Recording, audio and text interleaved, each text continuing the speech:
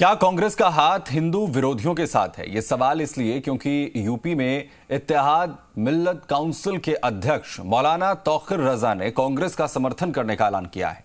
ये वही मौलाना है जिनका हिंदू विरोधी वीडियो वायरल हो रहा है और अब मौलाना तोखिर और कांग्रेस के साथ पर बीजेपी ने सवाल उठाए।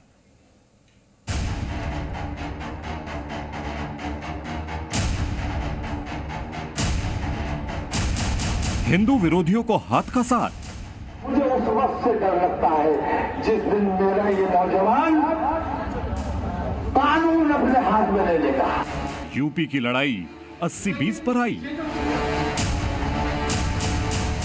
हिंदुस्तान का नक्शा बदल जाएगा।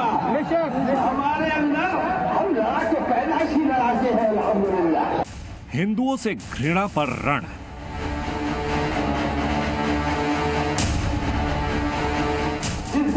नौजवान बेकानून हो गया और कानून अपने हाथ में लेने पर मजबूर हो गया तो तुम्हें हिंदुस्तान में कहीं बना नहीं मिलेगी। इत्तेहाद मिल्लत काउंसिल के अध्यक्ष मौलाना तौकीर रजा खां के कांग्रेस के समर्थन के ऐलान के साथ ही वो पार्टी के लिए मुसीबत बन गए हैं। मौलाना तौकीर रजा का एक वीडियो वायरल हो रहा है, जिसमें वो हिंदुओं को धमकी देते सुनाई दे रहे हैं। मुझे उस वक्त से डर लगता है, जिस दिन मेरा ये नौजवान कानून अपने हाथ में ले लेगा।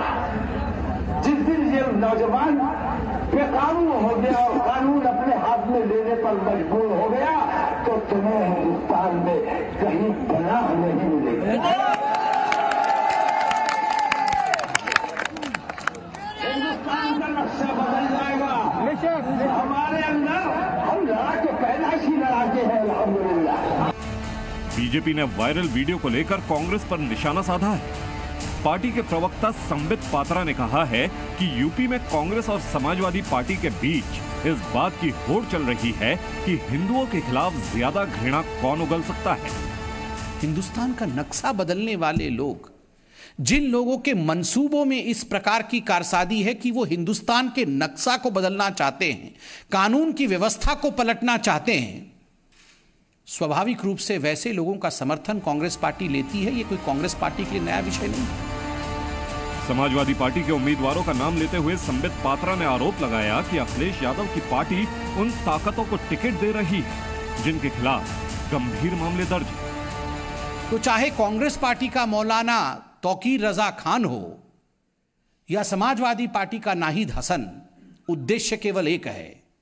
ये जो रेडिकल सिंडिकेट है इसका उद्देश्य है किस प्रकार से दंगे भड़काना, हिंदुओं को डराना, हिंदुओं को बांटना और केवल और केवल अपने परिवार की राजनीति को आगे बढ़ाना। बीजेपी ने आरोप लगाया है कि वेलफेयर पार्टी को चलाने वाली जमाते इस्लामी पार्टी, जो यूएपीए के तहत बैन है, उसके साथ कांग्रेस का गठबंधन हुआ है।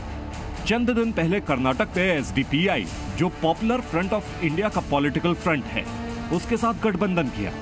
इसी तरह बंगाल में हिंदुओं के खिलाफ जहर उगलने वाले अब्बास सिद्दीकी के इंडियन सेक्युलर फ्रंट के साथ गठबंधन कांग्रेस ने किया।